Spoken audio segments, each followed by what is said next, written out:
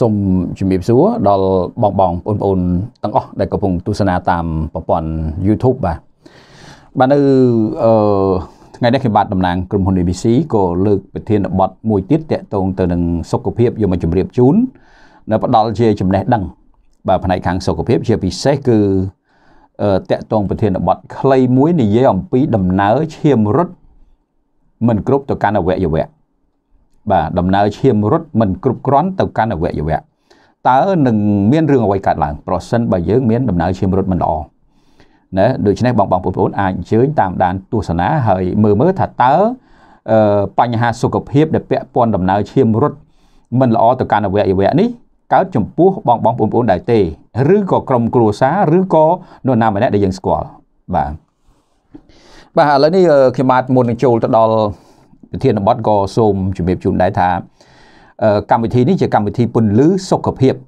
បាទកម្មវិធីពន្លឺសុខភាពបាទស្វាគមន៍មកកម្មវិធីកម្មវិធីពន្លឺសុខភាពហើយកម្មវិធីឧបត្ថម្ភដោយក្រុមហ៊ុន EBC បាទក្រុមហ៊ុន EBC បាទក្រុមហ៊ុន EBC ជាក្រុមហ៊ុនដែលមានបទពិសោធន៍នៅក្នុងការដោះស្រាយសុខភាពនឹងជាង20ឆ្នាំមកហើយ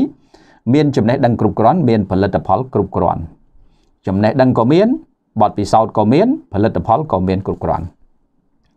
បាទតកតងទៅនឹងព័ត៌មានចំណេះដឹងក៏ដូចជាតំណាក់តំណងក្នុងការសួរនាំព័ត៌មានផ្ដល់ជាចំណេះដឹងក៏ដោយយើងមានប្រព័ន្ធផ្សព្វផ្សាយរបស់យើងមានតាមរយៈ YouTube បាទ YouTube ហ្នឹងគឺបងបងប្អូនអាចចូលទៅក្នុង YouTube យើងវាយពាក្យថា EBC ពន្លឺសុខភាព EBC ពន្លឺសុខភាពបាទ EBC ជាភាសាអង់គ្លេសណា វាយ ABC អញ្ចឹងបារាំងហើយដក clear ទៅពន្លឺសុខភាពស្រុកខ្មែរវិញដែលហៅថាជាភាសាអង់គ្លេសថា EBC ចុះបាទ EBC ពន្លឺសុខភាព page ហ្នឹងក៏ចឹងដែរ page មាន EBC ពន្លឺសុខភាពបាទដូចគ្នាហើយចំណែក Facebook ឈ្មោះខ្ញុំបាទផ្ទាល់គឺប៉ាងលីហៅប៉ាងលីហៅ P A N G ដក clear បន្តិចទៅ L W E H O U V ណាប៉ាងលីហៅហើយ page មួយទៀតក៏ចឹងដែរឈ្មោះចឹងដែរ ប៉ាងលីហៅដែរណាបាទក្រុមហ៊ុន EBC មានទីតាំងនៅផ្ទះលេខ266ផ្លូវលេខ150ក្រោយមន្ទីរពេទ្យលោកសង្ឃចម្ងាយប្រហែលជា200ម៉ែត្រតាក់ទងប្រព័ន្ធទូរស័ព្ទដែលមានស្រាប់នៅក្នុងនេះគឺ012 012ឬ015 98 11 25 98 11 25មួយខ្សែទៀត 088 088ថែមលេខ8មួយទៀតកតុយគឺ98 11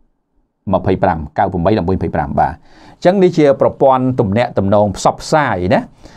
ឬក៏ប្រព័ន្ធទំនាក់ទំនងទិញដូរសួរនាំបញ្ហាសុខភាពអីបងបងប្អូនអាចតាក់ទងតាមលេខទូរស័ព្ទនឹងមកបាទបាទអញ្ចឹងចូលប្រធានបទ ប្រធានបទបញ្ហាឈាមរត់មិនគ្រប់ទៅកាន់ដៃជើងគេហៅថាអវយវៈហ្នឹងបាទវាមានដៃមានជើងណាតើការដែលឈាមរត់មិនគ្រប់ទៅកាន់អវយវៈហ្នឹងវាមានបញ្ហាយ៉ាងម៉េចជាពិសេសគឺវ័យរៀងចាស់ចាស់ប៉ុន្តែមិនថាចាស់ថាក្មេងឥឡូវអឺដូចគ្នាជួនកាលឈាមរត់មិនគ្រប់ដូចតែគ្នានឹងឯងបាទហើយប្រកាសជាមានបញ្ហាហើយព្រោះយើងដឹងហើយដំណើរឈាមវាត្រូវរត់ទៅគ្រប់កន្លែង ណាកាលណារត់មិនសូវរួចមិនគ្រប់គ្រាន់ទៅតាមអ្វីដែលជាសេចក្តីត្រូវការធម្មជាតិរបស់កោសិកាអានឹងវាមានបញ្ហាហើយដូច្នេះយើងរៀនស្គាល់ពីសញ្ញារបស់វាដើម្បីឈានទៅរកការដោះស្រាយបើមិនអញ្ចឹងទេយើងដោះស្រាយចេញទេណាអញ្ចឹងសញ្ញារបស់វានឹងយ៉ាងម៉េចខ្លះបាទបញ្ហាសុខភាពបង្ហាញអំពីប្រព័ន្ធឈាមរត់នៅមិនគ្រប់ទៅកាន់អវយវៈយើងមើលឃើញសរសៃឈាមយើងឃើញទេពីពីដងខ្លួនមកចែកបាទចែកទៅក្រោមទៅ បាទទៅតាមផ្លូវតាមទៅដល់ជើងអញ្ចឹងទៅលវៀមសរសៃឈាមហ្នឹងអូច្រើនណាស់ចុះយើងដឹងយើងមុតមុតតាណាបន្តិចក៏ឈាមដែរអញ្ចឹងបើមុតកន្លែងណាដែលមានឈាមកន្លែងហ្នឹងមានសរសៃទោះបីសរសៃហ្នឹងតូចក៏ដោយធំក៏ដោយវាត្រូវតែមានណាអឺលើកលែងតែមុតកន្លែងអត់ឈាមកោអាហ្នឹងអាហ្នឹងអត់មានសរសៃប៉ុន្តែមានទឹករងៃណាប៉ុន្តែដូចគ្នាអញ្ចឹងសរសៃវានៅអត់តូចតូចដូចគ្នាអញ្ចឹងបាទអញ្ចឹងគឺឈាមរត់ ពីពីពីពីលើហ្នឹងទៅក្រោមទៅជើងហ្នឹងគេរត់ទៅគ្រប់កន្លែងទាំងអស់ប៉ុន្តែដល់ពេលយូរទៅបញ្ហាសុខភាពវាកើតមានជាពិសេសដំណើរឈាមហ្នឹងវាមិនដែលល្អរហូតទេអឺមនុស្សដែលមានវ័យចំណាស់ក៏ដូចជាអ្នកដែលមានជំងឺណាតែងតែមានដំណើរឈាមរត់មិនគ្រប់ណាដូចទឹកនោមផ្អែមអីជាដើមឡាក់អញ្ចឹងណាបាទអញ្ចឹងតែងតែកើតមានហើយ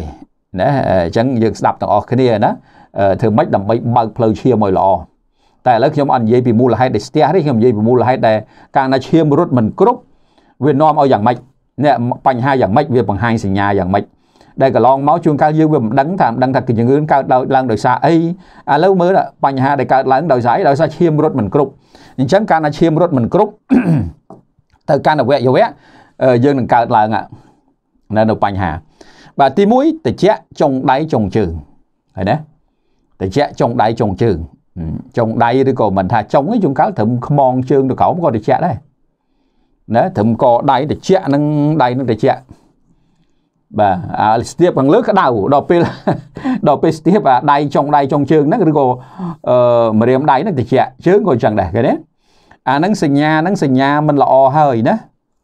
បើកាលណាឈាមអឺរត់មិនគ្រប់ទៅកាន់អវយវៈហ្នឹងគឺចាប់ផ្ដើមមានសញ្ញាមួយគឺតិចហើយអឺ ចំណាំទៅចំណាំទៅឲ្យបងបងប្អូនប្អូនលោកតាលោកយាយប្រិមិត្តទាំងអស់ដែលបានទស្សនានៅការពន្យល់របស់ខ្ញុំបាទនេះចំណាំទៅគឺឈាមបាញ់ចូលមិនគ្រប់ហើយតែការឈាមបាញ់ជប់ចូលមិនគ្រប់វិញចឹងឯង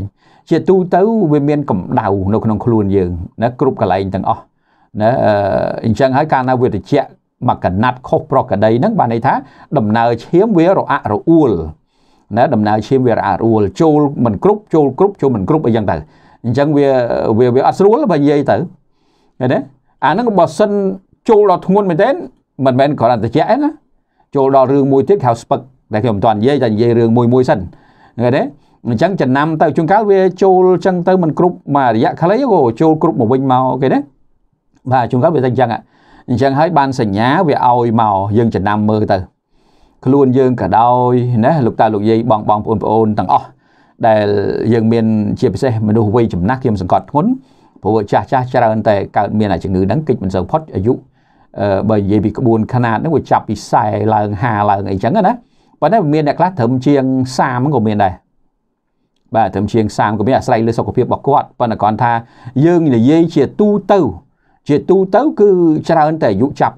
ពី40ឡើង50ឡើងអាហ្នឹងច្រើនកើតជំងឺតិចដងចុងដៃចុងជើងហ្នឹងឃើញទេ មិនតិចខ្លួននឹងមូលអាមួយតិចខ្លួនសុខភាពល្អអានឹងផ្សេងណាអានេះលេងតែមកកណាត់ហ្នឹងមកមកកណាត់កដៃហ្នឹងទៅហើយឬក៏ត្រឹមកជើងហ្នឹងទៅតិចហ្នឹងបាទអឺនឹងនឹងជាសញ្ញាជាសញ្ញាសញ្ញាកាលណា វាមានភាពតិចខុសប្រក្រតីដែលមិនស្មើនៅក្នុងរាងកាយយើងជាពិសេសគឺអវយវៈអានឹងបង្ហាញថាសញ្ញាហ្នឹងគឺឈាមចាប់ដើមដំណើររត់មិនគ្រប់មិនក្រាន់ទៅកាន់ចុងដៃចុងជើងនឹងឯងណា អញ្ចឹងរោមធ្យោបាយដោះស្រាយចេញកុំទុកណាអាតិចតិចហ្នឹងកុំទុកតែទុកដល់ធ្ងន់បានទេឃើញទេកាលណាយូរទៅវាចេះនេះពេលដែលវាតិចយូរទៅហើយយើងក៏អត់ធម្មតាជំងឺជាទូទៅអឺយើងវាមិនសូវជាគិតគូរអីទេនៅក្នុងករណីដែលវាស្រាលណាយើងនិយាយអញ្ចឹងណានៅពេលដែលវាស្រាលយើងអត់គិតគូរទេយើងតែងតែឲ្យវាដំណើរតាមធម្មជាតិអញ្ចឹងប៉ុន្តែបើសិនការប្រព្រឹត្តនៅ ដំណើរឈាមមិនគ្រប់គ្រាន់នេះ នៅទៅកាន់ចុងដៃចុងជើងអឺយើងនឹងកើតរឿងមួយទៀតគឺចាប់ស្ពឹកស្ពឹកឃើញទេណែណែអញ្ចឹងចំណុចទី2អញ្ចឹងការស្ពឹកដៃស្ពឹកជើងហ្នឹងវាជាសញ្ញាបង្ហាញនៅអំពីការដែលឈាមរត់មិនគ្រប់ណាទៅកាន់អវយវៈរយៈពេលយូររយៈពេលយូរណា បាទអញ្ចឹងហើយបើដូចខ្ញុំនិយាយអញ្ចឹងថាកុំកុំទុកឲ្យយូរបើទុកយូរមិនបានទេទុកយូរស្ពឹកអញ្ចឹងឃើញទេហើយតែស្ពឹកយូរយូរវារឿងទៀតណាដូចដូចជាពិសេសសង្កត់ធ្ងន់អ្នកមានជំងឺទឹកនោមផ្អែមអ្នកមានជំងឺទឹកនោមផ្អែមគឺប្រឈមខ្លាំងជាងមនុស្សដទៃនៅក្នុងការដែលមានដំណើរឈាមរត់ទៅកាន់អវយវៈមិនគ្រប់គ្រាន់ហើយកើតមានអាជំងឺស្ពឹកហ្នឹងបាទកើតមានជំងឺស្ពឹកនឹងជាប្រចាំដោយសារវាចេះ ដោយសារកតាស្ករវាច្រើនផងកតាកូលេស្តេរ៉ុលកតាខ្លាញ់ក៏វាច្រើនណាហើយអញ្ចឹងជំងឺស្ពឹកដៃស្ពឹកជើងនឹងគឺថាប្រឈមខ្លាំងជាមួយនឹងអ្នកជំងឺទឹកនោមផ្អែមប្រឈមខ្លាំងជាងគេប៉ុន្តែមិនចាំបាច់ទេណាមិនចាំបាច់ថាអូតអ្នកទឹកនោមផ្អែមបានបានកើតអញ្ចឹងទេណាទោះបីមិនទឹកនោមផ្អែមក៏កើតអញ្ចឹងដែរបាទអញ្ចឹងបងបងប្អូនប្អូនគួរតែយល់ពីរឿងនេះ ណាហើយបើមានទឹកនោមផ្អែមអាហ្នឹងខ្ញុំឲ្យយោបល់ថាដោះស្រាយចេញមកពីគ្រោះយោបល់ដោះស្រាយចេញមិនបាច់ជើញមកក៏បានពីគ្រោះតាមប្រព័ន្ធទូរស័ព្ទក៏បានដែរមិនចោលទេជំងឺនេះវាងាយស្រួលក្នុងការដោះស្រាយប៉ុន្តែចង់បញ្យល់ជូនថាមួយមួយអញ្ចឹងអញ្ចឹងអាស្ពឹកដៃស្ពឹកជើងហ្នឹងវាជាសញ្ញាណាស្ពឹកដៃស្ពឹកជើងហ្នឹងវាជាសញ្ញាប៉ុន្តែអាស្ពឹកមួយទៀតអាស្ពឹកមួយទៀតគឺសរសៃទេណាហ្នឹងប្រយ័ត្នប្រយែងផងសរសៃទេដូចថាយើងយើងយើងស្ពឹកស្ពឹកពីលើដល់ក្រោម ណាស្ពឹកពីលើដល់ក្រោមដោយសារវាប៉ះពាល់រឿងសរសៃដូចចកេះអីចឹងទៅណាអានឹងស្ពឹកដែរប៉ុន្តែស្ពឹករៀងរៀងរៀងចាក់ពីលើដល់ក្រោមអានេះស្ពឹកអត់ចាក់ពីលើដល់ក្រោមស្ពឹកត្រឹមហ្នឹងទៅហ្មងត្រឹមកដៃកជើងហ្នឹងឬក៏ត្រឹមកពួនជើងខ្មងជើងទៅចុះទៅក្រោមអីហ្នឹងណាស្ពឹកខុសគ្នាណាខុសគ្នាហ្នឹងប្រយ័ត្នប្រយែងផងបាទអញ្ចឹងអឺ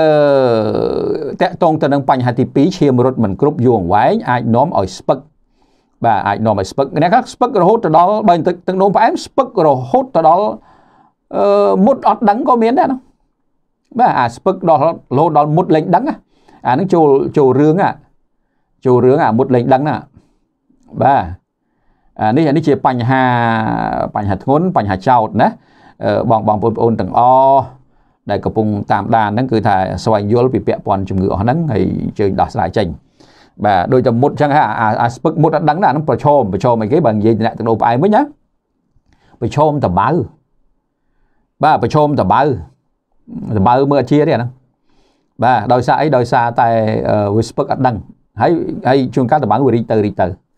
ណាអញ្ចឹងហើយបាននៅក្នុងគោលការណ៍សុខភាពដែលយើងយល់យល់ទៅយើងអាចស្វែងយល់មធ្យោបាយដោះស្រាយបានត្រឹមត្រូវបាទអញ្ចឹងនេះជាចំណុចទី2ចំណុចទី3 នេះចូលដល់ចំណុចទី3ចំណុចទី3របួសមិនងាយជាណែគេណារបួសមិនងាយជាអារបួសមិនងាយជាហ្នឹងអាហ្នឹងអាហ្នឹងចោតបាទចោតបាទ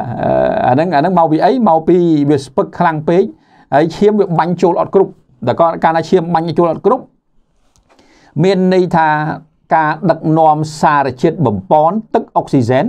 ទៅអត់គ្រប់គ្រាន់ទេ កាលណាការដឹកនាំសារជាតិបំពន់ទឹកទឹកអុកស៊ីហ្សែនទៅអត់គ្រប់វានាំឲ្យនាំឲ្យអាកោសេកាដែលនៅនឹងតបៅហ្នឹងកោសិកាដែលនៅនឹងរបួសស្នាមហ្នឹងគឺថាវាខ្វះនៅសារជាតិចិញ្ចឹមដូច្នេះកម្លាំងផ្សះមិនមិនជាទេណាកម្លាំងផ្សះគឺអត់ជាទេនេះអានេះចាំបញ្យល់ជូនអញ្ចឹងណា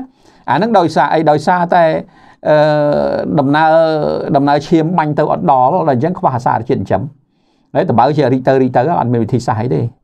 ណាមានកាត់ចេញហើយកាត់ហើយនៅនៅតែអញ្ចឹងបើសិនការដោះស្រាយមិនបានត្រឹមត្រូវនៅតែតបើតដែលហ្នឹងឃើញទេហើយប្រឈមប្រឈមប្រឈមយ៉ាងម៉េចប្រឈមស៊ីទៅស៊ីទៅណាកាត់ជើងកាត់ដៃអីចឹងទៅអាហ្នឹងតាក់តងទៅនឹងរបួសមិនងាយជាហ្នឹងដោយសារអញ្ចឹងដោយសារដំណើរឈាមរត់មិនគ្រប់កាលណាដំណើរឈាមរត់មិនគ្រប់វានាំឲ្យការដឹកជញ្ជូនទឹកអុកស៊ីហ្សែនសារជាតិបំពន់វាអត់គ្រប់ទេឃើញទេដូច្នេះការដោះស្រាយ ទាល់តែបើកផ្លូវឈាមទាល់តែបើកផ្លូវឈាមបើកផ្លូវឈាមឲ្យបំពេញនៅ សារជាតិបំពន់ដែលមានវីតាមីនប្រូតេអ៊ីនរ៉ែហើយនិងអុកស៊ីហ្សែនទៅជាមួយផងអានឹងបានបានឃើញទេអានឹងខាងក្រុមហ៊ុន VC មាន complete ហើយក្រុមហ៊ុន EBC នេះគឺយើងមានទាំងអស់បាទសូម្បីទឹក chlorophyll ក៏ក៏យកទៅលាងតម្ៅបានទឹក chlorophyll ហ្នឹងឃើញទេបាទអានឹងល្អបំផុតដែលខ្ញុំទទួលទានសពថ្ងៃហ្នឹងអញ្ចឹងបាទថាបងបងប្អូនណា complete ទឹក chlorophyll ល្អណាស់ ទឹក chlorophyll ហ្នឹងគឺប៉កែក្នុងការលាងតម្រង់នោមហើយបើយើងនេះទៅយើងយកដបចាក់កម្របបំលាងដបៅហ្នឹងចាក់មកដាក់សម្លៃទៅលាងអាដបៅចឹងចឹងបាទអញ្ចឹងនិយាយពីរបួសមិនងាយជាណារបួសមិនងាយជាហ្នឹងដោយសារអីបានវាមិនងាយជាដោយសារតែរឿងហ្នឹងឯងរឿងឈាមបាញ់ចូលអត់ចុះហ្នឹងឯងណាហើយបាញ់ចូលអត់ចុះទៅមានអីទៅចិញ្ចឹមអញ្ចឹងអត់ងាយជាទេ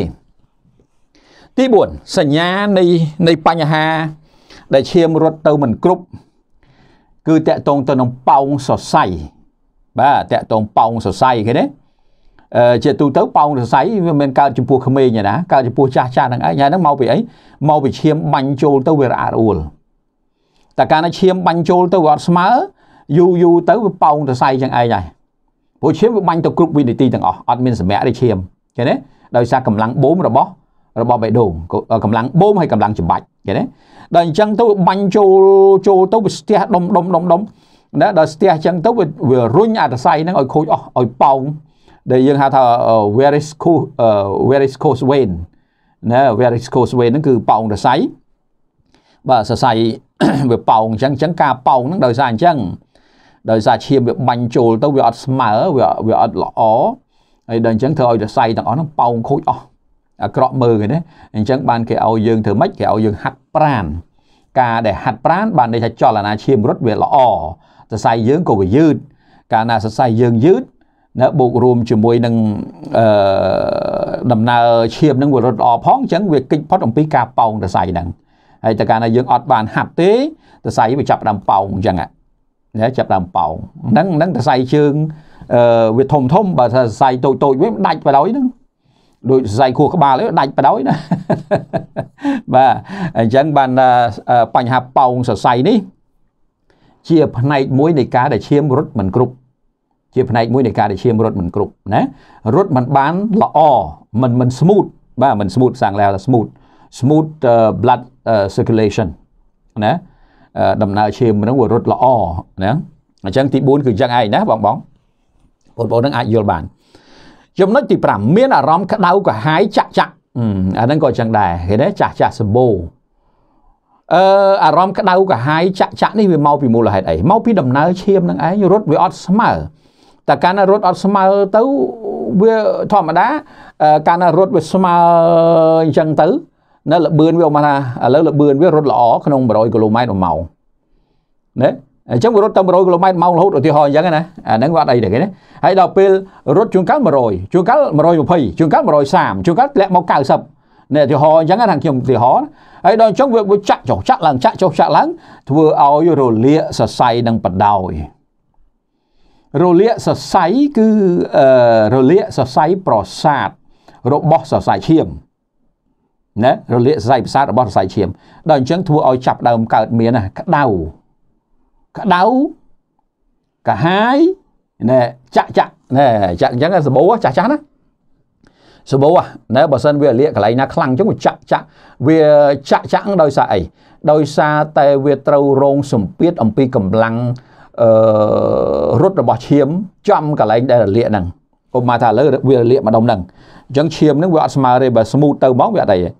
នៅវាក្តៅអញ្ចឹងដល់ពេលវាម្ដងលឿនម្ដងយឺតម្ដងលឿនម្ដងយឺតវាចាក់ចាក់ អញ្ចឹងវាទៅជាចាក់ចំអាកន្លែងអាកន្លែងលាកហ្នឹងវាទៅជាបាទអឺដូចដូចគេយកមកជុលមកចាក់អញ្ចឹងឈឺញូចញូចញូចម្ដងម្ដងក្តៅងុំឈឺផងលាយឡំគ្នាហ្នឹងនឹងជាជំងឺរបស់មនុស្សចាស់មនុស្សចាស់ជាពិសេសអ្នកកើតទឹកនោមផ្អែមហ្នឹងគឺក៏ប្រឈមជំងឺនឹងដែរប៉ុន្តែមិនចាំបាច់អ្នកកើតទេអ្នកមិនកើតទឹកនោមផ្អែមក៏ប្រឈមជំងឺនឹងដូចគ្នាដែរជាពិសេសអ្នកដែលមានប្រព័ន្ធឈាមរត់មិនល្អ គឺប្រឈមនៃការកើតជំងឺហ្នឹងហើយអញ្ចឹងគេគេឲ្យយើងហាត់ប្រាណហ្នឹងដើម្បីអីដើម្បីឲ្យ smooth ឲ្យឲ្យប្រព័ន្ធឈាមវាហូរល្អដូច្នេះវាគេចផុតពីជំងឺអស់ហ្នឹងប៉ុន្តែពេលខ្លះយើងពិបាកដែរចាស់ចាស់គាត់ចាស់ហើយមិនងាយទេណាគាត់មិនងាយហាត់ទេណាបើយើងអនុវត្តតាំងពីក្មេងទៅបន្តិចបន្តិចបន្តិចចឹងទៅអានេះវាជាប្រសើរចឹងទៅបាទនឹងអាចធ្វើបានត្រូវអនុវត្តហាត់ប្រាណអីបន្ថែមចឹងទៅណាប៉ុន្តែអ្វីដែលខ្ញុំចង់លើកឡើងនេះគឺឲ្យបានយល់ហើយមានដំណោះស្រាយជូនបាន ណាអញ្ចឹងទី5គឺអារម្មណ៍ក្តៅកាហាយអឺហើយនឹងចាក់ចាក់ណាចាក់ចាក់ដោយយកបញ្ចូលចាក់អញ្ចឹងអញ្ចឹងអាហ្នឹងមកពីអីមកពីរលាកសរសៃប្រសាទរបស់សរសៃឈាមដោយសារតែដំណើរឈាមមិនមិន smooth មិនល្អណារត់មិនរលូនណាទី6គឺសញ្ញាបង្ហាញទៀតគឺថា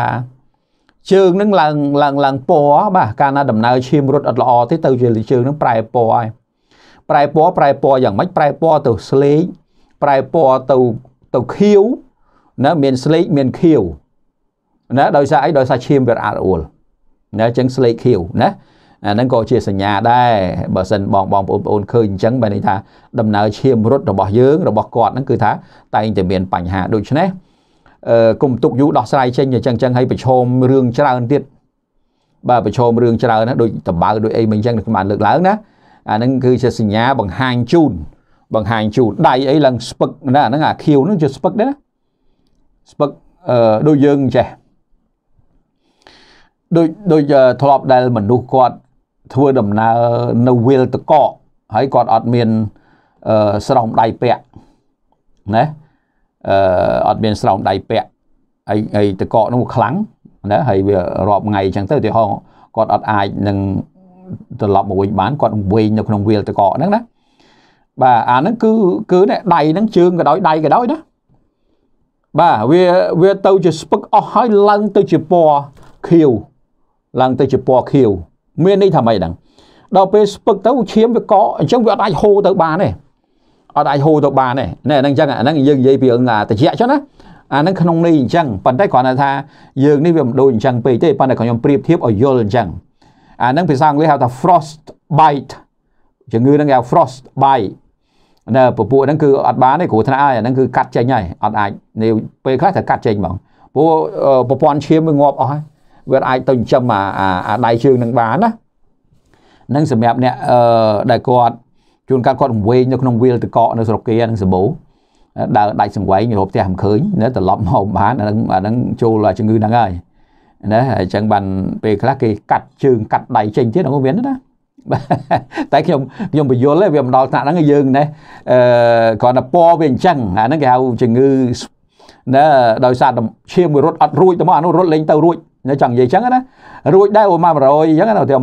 100ឈាមអញ្ចឹងរត់បាន5%អានឹងចូលហើយសាច់ឈាមរបស់យើងវាត្រូវចិញ្ចឹមដោយឈាមទាំងអស់ណាកាលណាអត់មានឈាមទៅចិញ្ចឹមទេអានឹងចោតបាត់ហើយមានស្អីទៀត ណាសាច់ឈាមយើងគឺអញ្ចឹងឯងណាហើយបើឈាមរត់ទៅម្ដងអានឹងសេរ៉ូបាត់ហើយត្រូវចប់ណាបាទអញ្ចឹងនេះជាអ្វីដែលខ្ញុំចង់លើកឡើងណាមានន័យថាស្បែកជើងស្បែករបស់ជើងរបស់ដៃហ្នឹងគឺថាវាចាប់ដើមប្រែពណ៌វាអាចទៅខៀវស្លេកខៀវទៅកម្ៅអាលួយបដ ாய் អាហ្នឹងទៅកម្ៅអាលួយបាទអញ្ចឹងអឺមួយទៀតអឺបង្ហាញអំពីដំណើរឈាមមិនគ្រប់ទៅកាន់ជើងនឹងដែរ ហើយជាពិសេសគឺវាតកតងទៅនឹងអឺផ្សំគ្នាជាមួយនឹងជំងឺតម្រងនោមអាហ្នឹងក៏វាកើតមានជំងឺហើមជើងធ្ងន់ជើងណាហើមជើងធ្ងន់ជើងណាអាហ្នឹងគឺគឺវាផ្សំគ្នាអញ្ចឹងព្រោះអាហ្នឹងវាឈាមរត់ទៅអត់គ្រប់បើអត់គ្រប់ក៏ជាចោតដែរហ្នឹងណាចោតដូចទៅជាទឹកចូលជើងណាដៃហ្នឹងជើងហ្នឹងធ្ងន់យល់យល់ដើរទៅណាអាហ្នឹងក៏ជាបញ្ហាដែរឃើញទេ វាមានកតាឲ្យសញ្ញាច្រើនអញ្ចឹងឯងនៅពេលដែលមានដំណើរឈាមរត់មិនល្អអាហ្នឹងគឺវាមានកតាអញ្ចឹងអញ្ចឹងបានថារឿងដំណើរឈាមរត់នេះតើមិនដល់ទៅកន្លែងណាហើយវាសុទ្ធតែមានបញ្ហាទៅផ្នែកហ្នឹងហើយគ្រប់ទៅផ្នែកអញ្ចឹងបានគេឲ្យនៅក្នុងការធ្វើយ៉ាងណាបើកផ្លូវឈាមឲ្យបានគ្រប់គ្រាន់ណាដើម្បីធ្វើម៉េចឲ្យសរីរាង្គនីមួយៗហ្នឹងដំណើរការទៅបានព្រោះអាហ្នឹងសិនចិញ្ចឹមដោយឈាមទាំងអស់ណាអញ្ចឹងបាទនេះជាចំណុចទី7ដែលបង្ហាញអំពីដំណើរឈាមរត់អត់គ្រប់ ឃើញទេអញ្ចឹងបងបងប្អូនអាចមើលយល់នៅក្នុងខ្សែវីដេអូហ្នឹងកាលណាដំណើរឈាមរត់វាអត់គ្រប់គ្រាន់ទេវានឹងកើតរឿងនឹងឯងណា1 2 3 4 5 6 7នឹងឯងសញ្ញាហើយបើយើងមានអាបញ្ហា1 2 3 4 5 6 7ហ្នឹងបង្ហាញថាដំណើរឈាមរត់របស់យើងអត់ស្រួលឡើយអញ្ចឹងយោបល់ខ្ញុំបាទគឺថាយើងដោះស្រាយចេញធ្វើម៉េចឲ្យឈាមវាហូរបានទៅគ្រប់គ្រាន់វិញ ណាអឺដើម្បីដើម្បីដោះស្រាយអាហ្នឹងតើគួរធ្វើយ៉ាងម៉េចមានតែប្រើ ទី1ផលិតផល ទី2ជួយហាត់ប្រាណជំនួយ យើងហាត់ប្រាណបន្ថែមទៅអាហ្នឹងគឺគោលការណ៍ដែលយើងត្រូវធ្វើហ្នឹងតាមវ័យតាមកម្លាំងអញ្ចឹងទៅណាប៉ុន្តែចាស់ចាស់ពិបាកជួនកាលវ័យចាស់ពេកក៏ពិបាកដែរបើក្មេងៗមិនអីទេគេហាត់ប្រាណហាត់អីទៅអាហ្នឹងក៏ក៏ល្អណាប៉ុន្តែអ្វីដែលសំខាន់ផលិតផលវាវាជួយហ่ะណាផលិតផលវាជួយណាអញ្ចឹងផលិតផលហ្នឹងគឺយ៉ាងម៉េច មានន័យថាអ្វីដែលយើងគួរធ្វើគឺបើកផ្លូវឈាមទាំងអស់វាល្អបើកផ្លូវឈាមបើកផ្លូវឈាមប្រឆាំងទៅនឹងអាលៀកជាពិសេសណាអាតាក់តងអាលៀកនេះជាជាបញ្ហាចោតហើយយើងទ្រាំអត់បានទេដូច្នេះយើងត្រូវណាប្រើផលិតផលប្រឆាំងទៅលៀកហើយយើងយើងលាងឈាមទៀតយើងលាងឈាមចេញបានន័យថាលាងជាតិពុលក្នុងឈាមគេទេកិច្ចការទាំងអស់នេះមិនពិបាកទេគឺថាក្រុមហ៊ុនមានផលិតផលរួចជាស្រេចបាទមានផលិតផលរួចជាស្រេច ណាបងបងប្អូនប្អូនគួរតែធ្វើគឺទី1អ្វីដែលត្រូវធ្វើហ្នឹងគឺ Colesi Plus នេះ Colesi Plus ហ្នឹងបើកផ្លូវឈាមនេះខ្ញុំលើកប្រធានបទខ្លីៗប្រមាណមកហ្នឹងគឺឃើញប្រើសើ Colesi Plus ទាំងអស់ពីព្រោះ Galaxy Plus ប្រើទៅបើកផ្លូវឈាមមិនមែនបើកតែគូក្បាលមិនមែនបើកតែបេះដូងទេតាណាក៏ដោយឲ្យតែមានឈាមរត់វាបើកទាំងអស់ណែវាល្អចេះឃើញទេ វាអត់មានប្រកាន់ទេអត់មានប្រកាន់ថាខ្ញុំបើកផ្លូវឈាមតែជើងខ្ញុំបើកផ្លូវឈាមតែបេះដូងផ្លូវឈាមតែគួរក្បាលផ្លូវឈាមតែថ្លើមតែតម្រង់នោមអត់ទេប្រើទៅមកកំ pl េណែវាបានប្រយោជន៍អញ្ចឹងព្រួញមួយបាញ់បានសัตว์100ណែឃើញទេវាប្រយោជន៍អញ្ចឹងវាអត់មានថាអាហ្នឹងតើជំងឺបេះដូងបើខ្ញុំដោះស្រាយជំងឺលើឈាមអត់ទេអត់ទេ Galaxy Plus គឺទៅទាំងអស់ វាប្រយោជន៍ណាស់អញ្ចឹងហើយបានថាអត្តប្រយោជន៍ហ្នឹងគឺទូលំទូលាយទី1យើងត្រូវប្រើផលិតផល ទី2យើងត្រូវប្រើប្រាស់ពពួកបំពន់ដើម្បីឲ្យដើម្បីឲ្យសរីរាង្គកាយហ្នឹងទទួលបាននៅសារជាតិចិញ្ចឹមឲ្យគ្រប់ឡើងវិញ ជាពិសេសគោលបំណងគឺកោសិកាណាកោសិកាទាំងឡាយហ្នឹងឲ្យវាណាទទួលបានសារជាតិចិញ្ចឹមព្រោះក្នុងនេះមានវីតាមីនប្រូតអ៊ីនរ៉ែហើយជាពិសេសមានសារជាតិ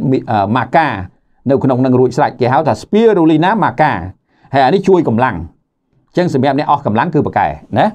យើងប្រើហ្នឹងប្រើទឹក chlorophyll ទឹក chlorophyll គឺសម្អាតឈាមសម្អាតឈាមអាហ្នឹងកុំឲ្យវាឈាមយើងវាមានជាតិពុលច្រើនជាជាការសង្គ្រោះណាធម្មតាឈាមល្អណាគឺថាឈាមហ្នឹងគឺមានប្រសិទ្ធភាពមានគុណភាពណាផ្ដល់ដល់សារជាតិបំពន់គ្រប់គ្រាន់ឃើញទេអតកតងទៅនឹងប្រឆាំងការរលាក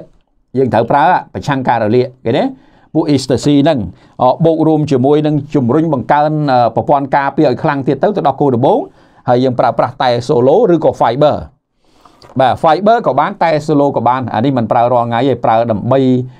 ធ្វើយ៉ាងណា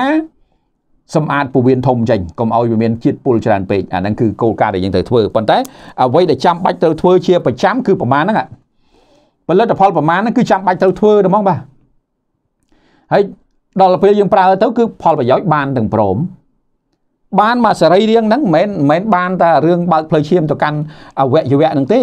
ណាសេរីរៀងមានន័យថាផ្លូវឈាមទៅកាន់ខួរក្បាលក៏បានប្រយោជន៍ផ្លូវឈាមទៅកាន់តម្រងនោមក៏បានប្រយោជន៍ផ្លូវឈាមទៅកាន់ថ្លើមក៏បានប្រយោជន៍បានទាំងអស់ទាំងព្រមវាប្រយោជន៍យ៉ាងនេះចង់មិនចង់ក៏វាឲ្យដែរអាហ្នឹងគឺជាធម្មជាតិណារបស់វាគឺចឹងឯងនៅពេលដែលយើងប្រើទទួលបានទាំងព្រមគេណា អញ្ចឹងហើយបានថាបើយើងបានយល់អំពីអត្ថប្រយោជន៍នៃការប្រើប្រាស់ផលិតផលនេះយើងសរសើរវាបាទវាអត់ចាំបាច់ថាតផ្លូវឈាមទៅកាន់ជើងខ្ញុំរផលិតផលផ្សេងថ្នាំផ្សេងអឺផ្លូវឈាមទៅកាន់ខួរក្បាលខ្ញុំប្រើថ្នាំផ្សេងផ្លូវឈាមទៅកាន់តម្រងនោមខ្ញុំប្រើថ្នាំផ្សេងអត់ទេអានេះគឺទៅក្តោបឲ្យទាំងអស់បាទក្តោបទាំងអស់ប្រយោជន៍បានទាំងព្រមណាបានទាំងព្រម បាទអញ្ចឹងនេះជាអ្វីដែលខ្ញុំចង់លើកឡើងណាហើយខ្ញុំបាទដែលជាតំណាងក្រុមហ៊ុន EBC ក៏លើកទឹកចិត្តឲ្យបងបងប្អូនបងប្អូនដែលធ្វើយ៉ាងណាគឺថាយើងដោះស្រាយចេញបើសិនមានសញ្ញាដូចបានលើកឡើងពី1ទៅដល់7សញ្ញាអំបញ្ញមិញកុំទុកពីព្រោះអានឹងកាលណាទុកទៅធ្ងន់ទៅធ្ងន់ទៅនាំតែលំបាកក្នុងការដោះស្រាយអញ្ចឹងហើយយើងដោះស្រាយឲ្យវាងាយស្រួលដូចអ្នកខ្លះគាត់អត់យល់ទេគាត់មានជំងឺចឹងចឹងទេគាត់មានជំងឺដូចបានលើកឡើងឈាមរត់ទៅកាន់អវយវៈហ្នឹងអត់ អត់អត់ចង់និយាយថាអត់គ្រប់ហើយបង្ហាញសញ្ញាអញ្ចឹងតែដោយសារគាត់អត់យល់គាត់មិនដឹងដោះស្រាយឯណាគាត់ទៅទៅនេះខុសទៅនោះខុសណាសពបែបយ៉ាងទាំងអស់អស់លុយក៏គោកក្តីណាអស់លុយច្រើនណាប៉ុន្តែដោះស្រាយអត់ចេញបាទអានឹងខ្ញុំខ្ញុំជួបច្រើនណាអតិថិជនយើងដែលត្អូញត្អែអំពីរឿងរ៉ាវហ្នឹងហើយទីបំផុតរឿងសាមញ្ញបំផុតនៅក្នុងការដោះស្រាយតែមកពីយើងវាអត់យល់ហើយវាមិនដឹងព័ត៌មានវាខ្វះព័ត៌មាន អ្នកទាំងនេះដែលវាជាបញ្ហាចោតណាដូច្នេះបងបងប្អូនប្អូនទាំងអស់ដែលកំពុងតាមដានស្ដាប់នោះគឺថាជួយចែកចាយព័ត៌មាននេះតតគ្នាជាការជួយសង្គ្រោះណាជាការជួយសង្គ្រោះគ្នាដែលមិនបានដឹងព័ត៌មានណាព្រោះជួនកាលអត់ដឹងព័ត៌មាននឹងសំខាន់ណាបាទមានលុយដោះស្រាយប៉ុន្តែមិនដឹងទៅដោះស្រាយឯណាហ្នឹងក៏ជាបញ្ហាចោតឃើញទេអញ្ចឹងព័ត៌មាននេះគឺសំខាន់អញ្ចឹងជួយចែកចាយតតគ្នាមានលេខទូរស័ព្ទ មាន page មាន YouTube នៅក្នុងរួចរួចជាស្រេចបាទអញ្ជើញចូលមើល EBC ពន្លឺសុខភាពណា